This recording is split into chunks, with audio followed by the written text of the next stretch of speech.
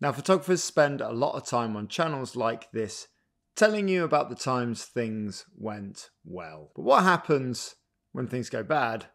What happens when you forget to bring that vital piece of kit? Now, it happens to all of us because nobody's perfect, and it happened to me recently at Riot Cabaret in London. Travelled all the way from Portsmouth with all of my kit. I knew I'd be shooting ringside, so I packed my two bodies, my two lenses, my memory cards, my batteries. Packed my GoPro so I could record some footage from the top of my camera. And I knew I'd be taking some backstage portraits, so I packed my flash unit, I packed the battery for my flash unit, I packed the charger for my flash unit, I packed my transmitter for the flash unit, but I forgot to take my modifier.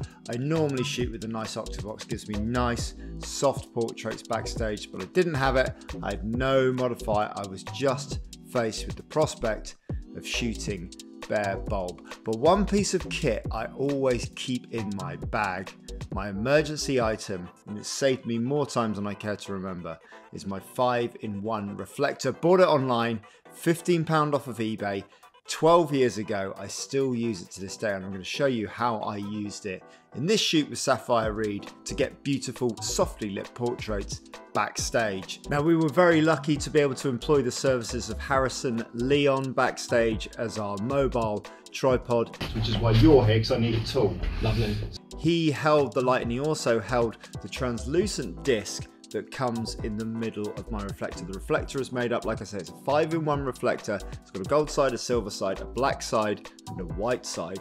But inside of that sleeve, it has a big translucent disc. And what that means is, is that light will pass through it, but it will diffuse when it passes through it.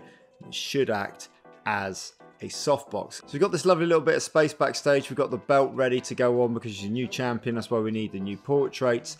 It's quite a grimy backstage area, which I quite like about this. Power pack goes on here. It's all on Harrison's shoulder. So he's holding that for me. We open up the reflector. There it is. It's got that gold side there. We take off the sleeve there. So the gold, the white, the silver, the black side of that reflector is all on that sleeve. So it's taken out. And in the middle there, as you can see, is this translucent disc. That means that light is going to be able to pass through it, but it should diffuse. So there we go. By getting Harrison to hold it further away, we should get a softer light source. And the closer that disc is to Safire's face, the softer the light source will be because the light will have had further to travel. You know, it should be diffusing through nicely, but the diffusion layer is closer to the face, which should give us a softer light source. Simple pose straight into the camera. We got our first image here. Bit of aggression there into the camera, which is really, really nice and we've taken a low angle to make her look really, really dominant in the picture, to make her look like a champion. So we've got our first few test pictures in here. We've managed to do a few simple poses and we've managed to turn the championship belt towards the reflector dish and that means that we're getting that reflection off of the reflector dish which means that that belt is going to be really really well highlighted, really, really well exposed in the photograph. And it's actually going to be the point of interest. That's what I want uh, the viewer to really, really to draw their eye into. So I've got it low in the frame, it's nice and big in the frame, and it's nice and bright in the frame as well, so we can see champion. Now we've moved our light round, we're changing lighting styles. We get her to turn her head away from us, and we've got a really really nice feel to the picture there unfortunately because there isn't much much light in this shot we can't see the championship belt so we make a small amendment by moving the light again back round this way. Brought Harrison in about 45 degrees round and turned the belt towards it. So the belt is facing straight towards where that light is.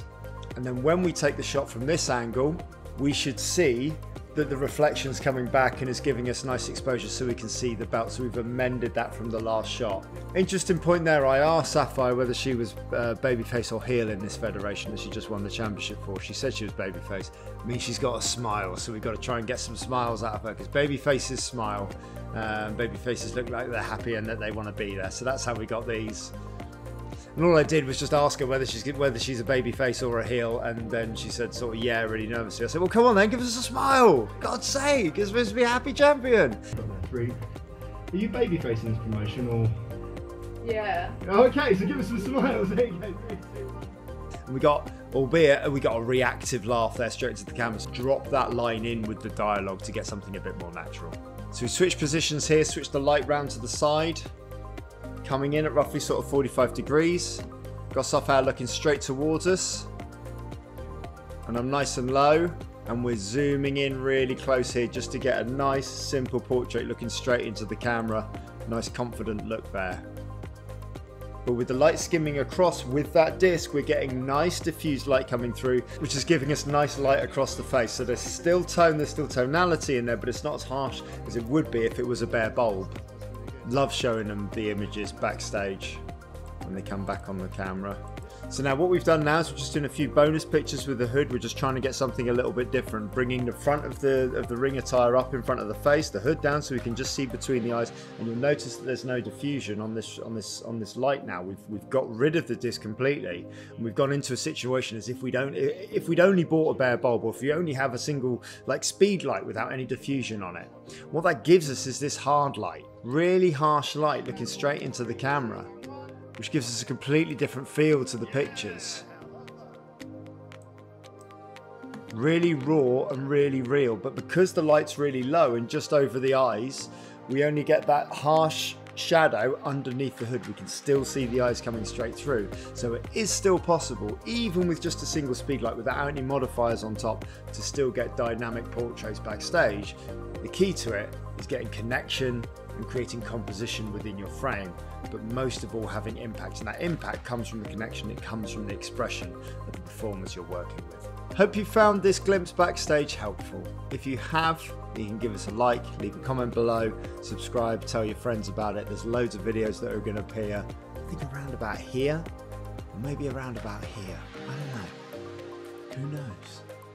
There's going to be loads of videos appearing around about here uh, that you can check out, portfolio reviews, all those kinds of things. If you are a photographer and you are looking to have your portfolio reviewed by a professional, I can do that for you. Email me, portraitofwrestler at gmail.com. And if you're looking to up your game with your lighting, you can do that. We've got a brand new website, nofussmuss.com. It's got a load of free tips on there. You can download a free posing guide on there. And you can also subscribe to our beginner's guide to portrait lighting course, all on there, nofussmuss.com. But until the next time, all the very best.